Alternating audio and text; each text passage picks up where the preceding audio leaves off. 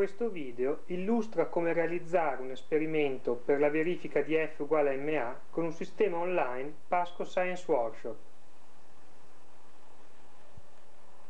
Per realizzare l'esperimento avete bisogno di un'interfaccia 500 o superiore, di un sensore di posizione ad ultrasuoni, oppure, in alternativa, di un semplice fototraguardo.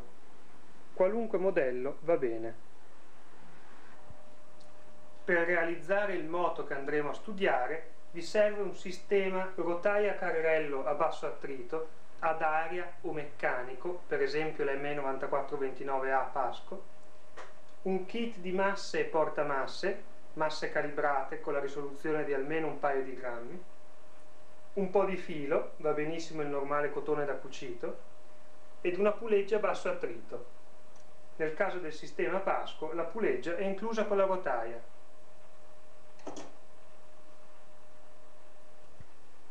Inutile dire che avete bisogno anche del computer su cui far girare il software Science Workshop. Cominciate col disporre la rotaia leggermente a sbalzo rispetto al tavolo. Collegate la puleggia all'estremità a sbalzo della rotaia.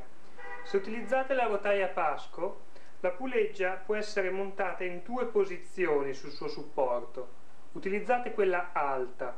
In questo caso collegarla alla rotaia risulta assolutamente semplice. L'altezza della puleggia è regolabile. Se utilizzate una rotaia a Pasco avrete preventivamente montato il paraurti con la parte in velcro verso la direzione da cui arriva il carrello. Scopo dell'esperimento è verificare come varia l'accelerazione che subisce il carrello al variare della massa attraente che verrà fatta scendere giù dal tavolo grazie alla puleggia. Per minimizzare l'attrito, nel caso utilizziate una rotaia meccanica, potete usare questo espediente. Inclinate leggermente la rotaia mediante spessori o con le sue viti di regolazione in modo che il carrello vada leggermente in discesa pochissimo, quel tanto che basta affinché non si sposti se lasciato fermo sulla rotaia, ma una volta messo in movimento proceda per un po' almeno a velocità costante. Siete al pelo del vincere l'attrito volvente pur senza riuscire a vincere quello radente. Legate poi il portamasse al filo, regolate la lunghezza del filo o la posizione del paraurti in modo che il pesino arrivi a sfiorare terra senza toccarlo quando il carrello è a fine corsa. Per rendere più stabile la rotaia durante l'esperimento, per fare in modo che non si sposti, potete applicare un po' di plastilina al paraurti per ammorbidire l'urto del carrello. La procedura sperimentale che viene più naturale, cioè quella di mettere via via più pesini sul portamasse e ogni volta misurare l'accelerazione del carrello, non è concettualmente corretta, in quanto così facendo si altera la massa complessiva del sistema. La procedura che invece suggeriamo è la seguente. Si pongono all'inizio tutti i pesini, 2-5 grammi, sul carrello e si misura l'accelerazione del carrello tirato dalla massa del solo portamasse, che nel caso del sistema Pasco è 5 grammi. Poi mano a mano si spostano pesi dal carrello al portamasse a passi di 2 o 5 grammi. Così facendo la massa del sistema complessiva rimane invariata ed è facile determinare ponendo su una bilancia tutto il sistema carrello e portamasse con i pesini nel nostro caso 525 grammi. La preparazione dell'esperimento è un po' diversa in base al fatto che stiate utilizzando un sonar oppure un fototraguardo. Nel caso del sonar collegate i due spinotti ai canali digitali dell'interfaccia, lo spinotto giallo nel contatto 1. Se utilizzate il sonar disponetelo semplicemente appoggiato sulla rotaia e ruotatelo in modo che la sua faccia sia verticale. Per la predisposizione nel software è sufficiente trascinare l'icona che rappresenta i sensori digitali sul canale 1 e scegliere sensore di moto OK. In questo punto potete leggere la lettura attuale del sensore. Verificate che muovendo il carrello esso venga seguito in tutto il suo movimento. Se invece utilizzate il fototraguardo, esso va montato in modo che il suo fascio luminoso intercetti i raggi della puleggia. Questo viene confermato quando il fototraguardo è alimentato dall'interfaccia dall'accendersi spegnersi della lucina rossa. Per montare il fototraguardo, come vedete, è stato utilizzato un supporto da rotaia normale rovesciato, cioè è stato tolto il fototraguardo e la vite, è stato capovolto in questo asse e rimontato. Così facendo è regolabile la posizione del fototraguardo e lo si può disporre in modo che intercetti i raggi della puleggia. La predisposizione nel software avviene selezionando dai sensori digitali sul canale 1 Smart Pulley lineare. Ok. Il sistema già conosce il diametro della gola della puleggia per cui può determinare ogni raggio quanto filo è passato. Il filo naturalmente è solidale col carrello. Il fototraguardo ha lo spinotto collegato al canale digitale 1 dell'interfaccia. Eccoci allora all'esecuzione dell'esperimento. L'esperienza insegna che si hanno risultati migliori con un carico traente tra i 10 e i 20 grammi. Partiamo quindi da 10 grammi, abbiamo spostato un pesino da 5 dal carrello al portamasse. Cominciamo a raccogliere i dati con Alt R e lasciamo il carrello libero di scendere. Alt punto termina la raccolta dati. A questo punto si sposta un'altra massa sul portamasse e si ripete la misura. Andiamo a vedere i nostri risultati. Trasciniamo l'icona grafico su quella del sensore e selezionate di voler vedere un grafico di posizione e di velocità. Visualizza. Ingrandite la finestra Col tasto Sigma, primo tasto della prima riga di pulsanti, riservate una zona a destra per le statistiche, e col tasto Autoscala, tasto più a destra della prima riga, autoscalate il grafico.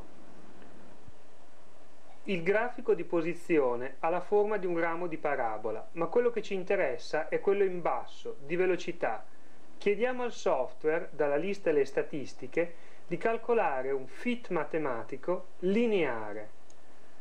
Il coefficiente angolare della retta di regressione della velocità è naturalmente l'accelerazione che stiamo cercando, in questo caso 0,187 metri al secondo quadrato.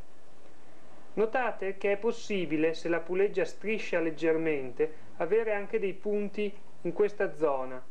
In questo caso, per limitare la regressione lineare a un'area di punti, è sufficiente trascinarla e evidenziare i punti che si vogliono includere nella statistica. In questo caso, con tutti i punti allineati, il valore numerico cambia solo in maniera irrilevante.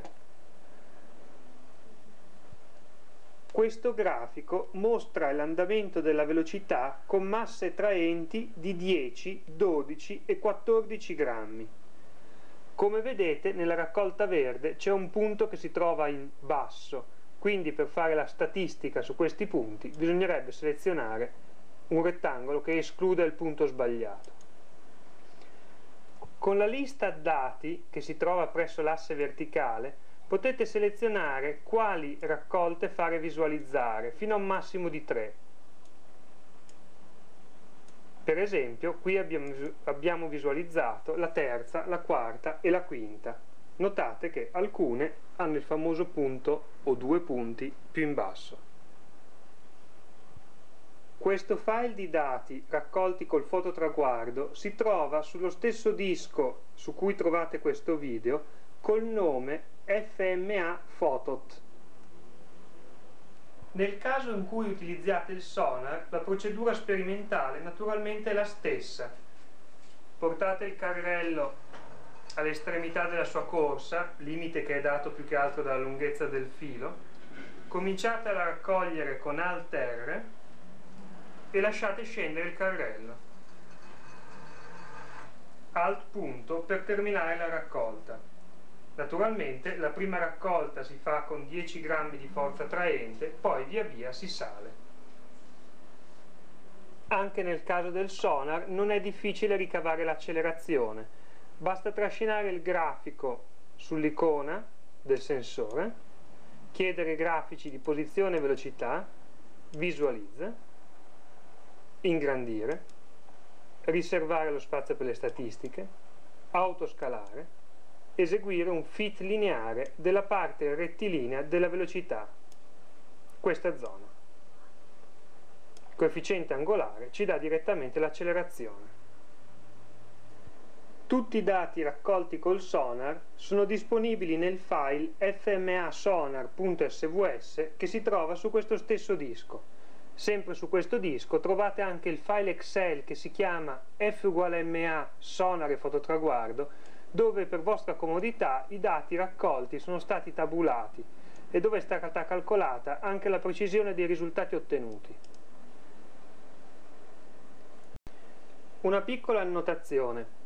È possibile ottenere sia col sonar che col fototraguardo anche l'accelerazione direttamente dai dati misurati dal sistema, cioè il grafico di accelerazione. Tuttavia risulta evidente, come in questo caso, come sia più comodo misurare l'accelerazione come regressione lineare della velocità.